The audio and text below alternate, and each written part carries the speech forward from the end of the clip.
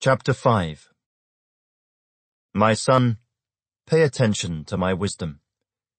Lend your ear to my understanding, that you may preserve discretion, and your lips may keep knowledge.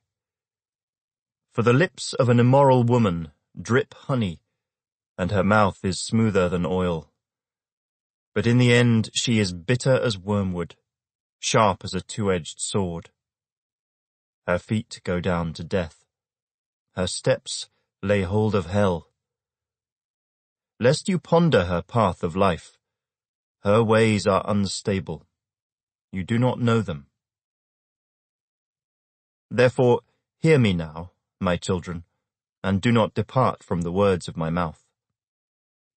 Remove your way far from her, and do not go near the door of her house, lest you give your honor to others, and your years to the cruel one, lest aliens be filled with your wealth, and your labors go to the house of a foreigner.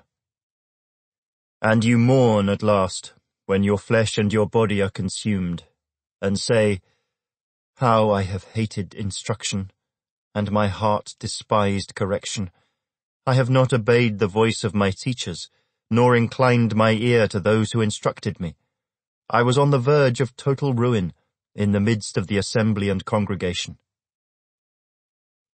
Drink water from your own cistern, and running water from your own well. Should your fountains be dispersed abroad, streams of water in the streets? Let them be only your own, and not for strangers with you.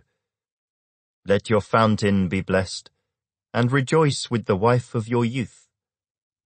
As a loving deer and a graceful doe, let her breasts satisfy you at all times, and always be enraptured with her love. For why should you, my son, be enraptured by an immoral woman, and be embraced in the arms of a seductress?